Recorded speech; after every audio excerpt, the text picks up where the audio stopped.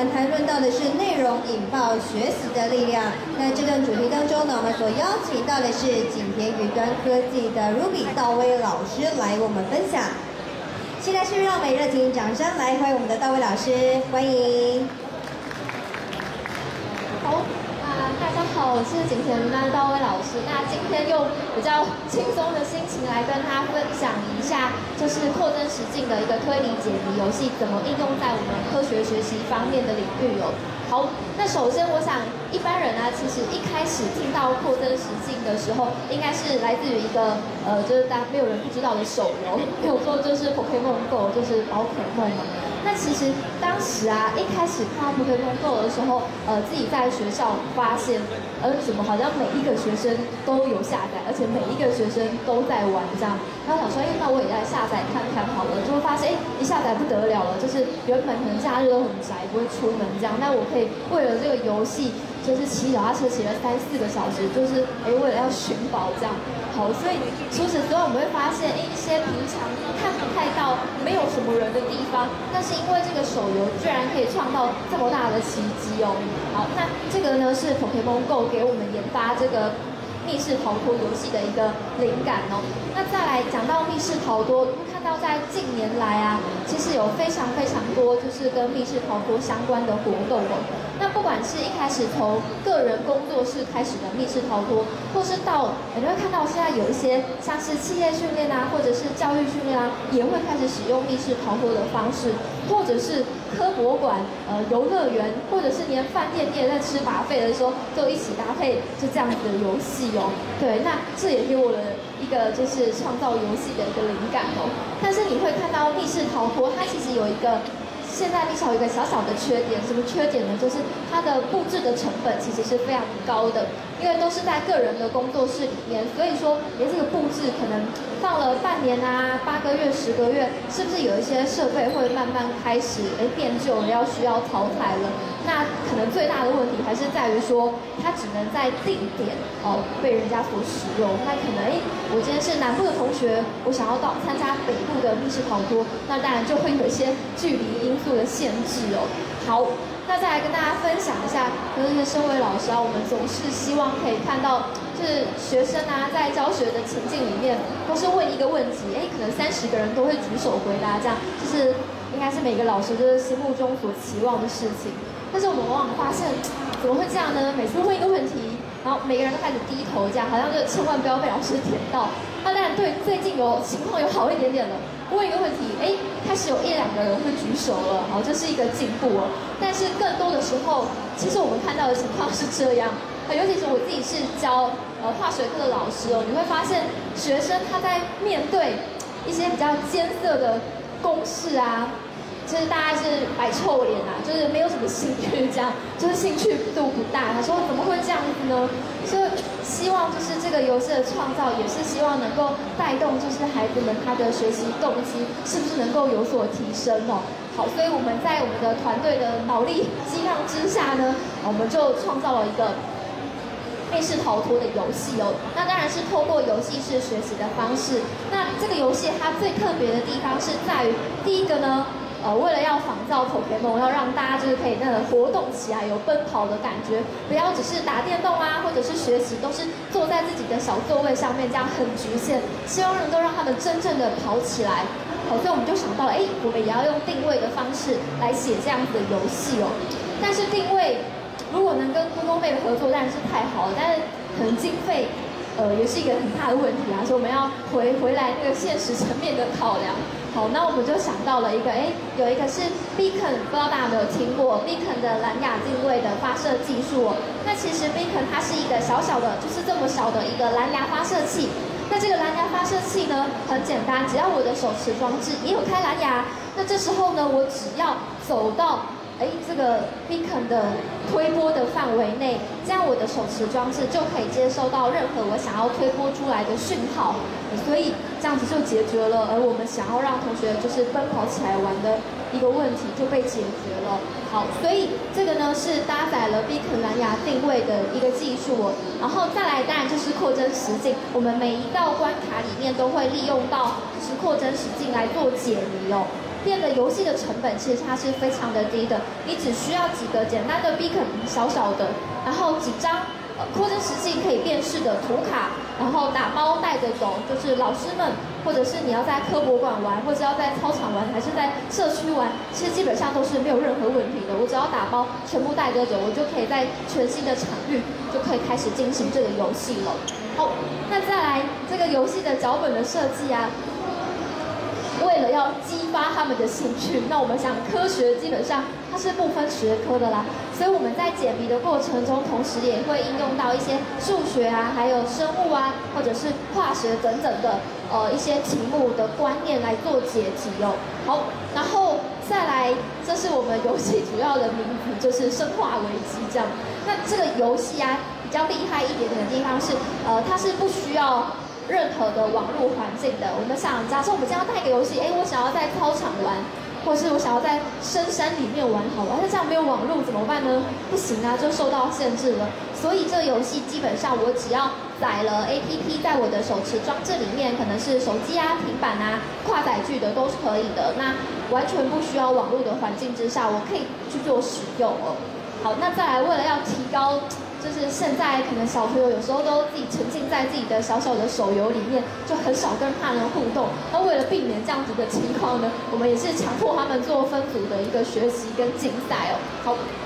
那当然密室逃脱最刺激的就是要限时嘛，对，所以这个游戏呢蛮残酷的，就是要限时一个小时之内就破关。那超过一个小时会怎么办呢？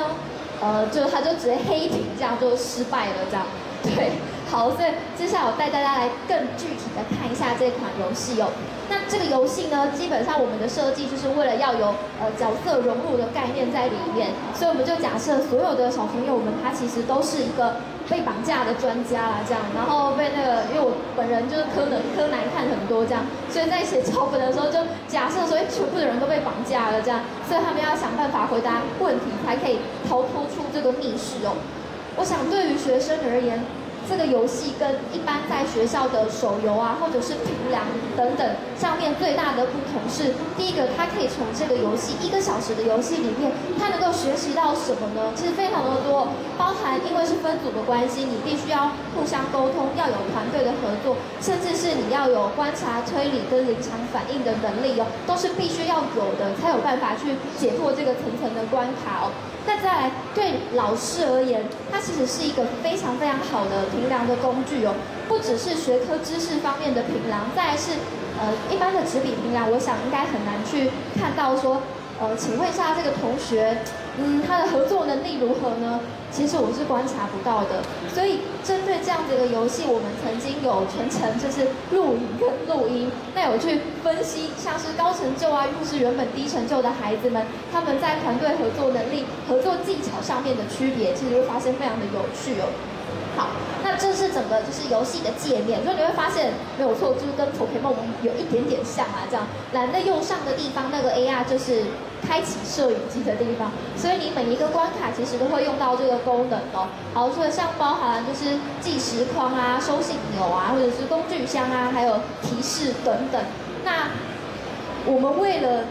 没有高成本的布置吗？因为我们密室逃脱，为了让它方便带着走，那怎么办呢？我们还是必须要有临场感啊，所以我们就把这些临场感就是全部包在这个手机里面的。所以其实手机我们的界面它其实是临场感，可能有炸，我们有一些关卡是会有炸药、炸药或是烟雾，然后你就会发现手机屏幕真的开始就是充满浓烟这样。好，那这个是里面其中的几道关卡哦。那像大家可以看到，这个就是我们开启摄影机去扫描图卡的时候呢，它可能会出现的一些线索。那透过这些线索呢，我们就可以来解题。这是生物的题目，这是一个制药的呃过程，这是一个致死的药，所以小朋友要想办法去了解，因为它的外套膜是什么样的成分哦。好，那再来这个就是化学的题目啦。那化学题目。当然不能跟学科知识有所脱节，所以利用到了就是像国中、高中都有学过的一些制备气体的方法，还有呢一些嗯化学药品上面的像是王水的配置啊等等，体积要如何调配啊？那当然也会穿插一些小小的趣味在里面哦，像是什么呢？你会发现这个哎红色、绿色、蓝色按钮到底是什么？那其实小朋友也都不知道哦，因为这是一个解谜的过程，所以他们要自己慢慢的去按，慢慢去按，就发现哇，原来是不同颜色会有不同的体积出现。好，所以会有一些小小的巧思跟推理的过程在这个游戏里面哦。最后呢，我们来看一下，你会发现，其实老师看到学生这样子专注的眼神，你是非常感动的。因为平常你在教书的时候，在教他们题目的时候，大部分就是眼神死啊，感觉好像就是很不情愿这样子。对，好，那最后我要跟大家分享一个小小的影片，是我们实际就是到呃马来西亚呢去帮。独立中学大概二十所学校的老师跟学生办的一个科学的营队，这样好，那就大家来看一下我们实际的成果。那前半段呢，是我们公司就是其他的产品的部分。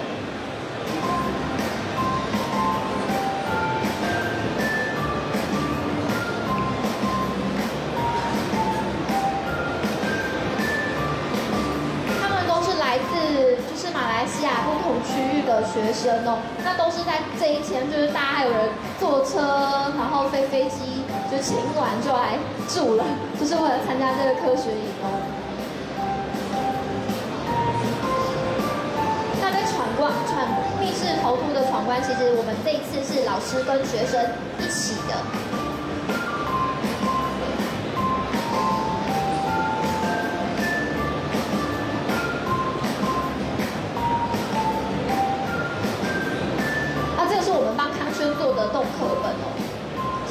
学生，你看他们的回馈，其实真的是蛮开心跟骄傲的。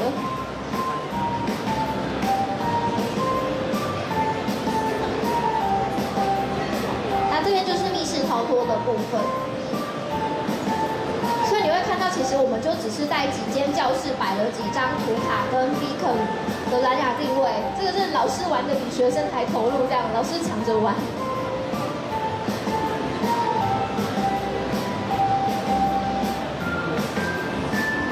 老师比学生好像还激动。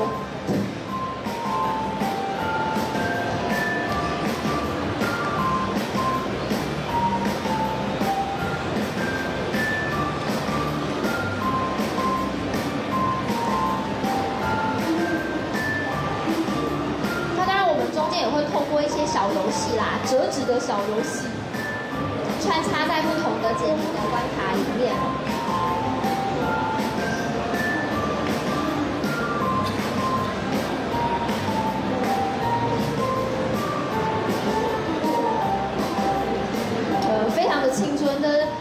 这高中生跟国中生都有，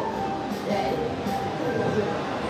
好，那最后就是跟大家分享，其实这样子的一个密室逃脱的解谜游戏，它其实不限制是在学校内可以去做使用，其实把它带到科博馆啊，或者是美术馆啊，它都可以变成是一个非常好的科普的游戏，整个就是融入在那个情境里面是没有问题的。这个密室逃脱整个制作的过程啊，从研发到完成，其实只用了不到一个月的时间，甚至非常非常非常短的。那这个不到一个月的时间，我们是怎么具体的把这样子的一款 A P P 的游戏去写出来呢？这必须要仰赖的是什么？其实最重要，我觉得是老师跟游戏工程师之间的一个互相配合哦。那很多时候，然后老师不会写程式，而是会写程式的人也不懂这些学科知识，所以之间的互相配合呢，其实就变得非常非常的重要了。那再来，也希望通过学生的加入，跟嗯一些政府机关，像是自测会等等的一起的加入，势必能够让这些像是 VR。或是 AR 游戏更成功的融入在我们的教学领域跟场域里面了。好，那就是我今天的分享，谢谢大家，谢谢，让我们再次感谢高位老师的带来的精彩分享哦。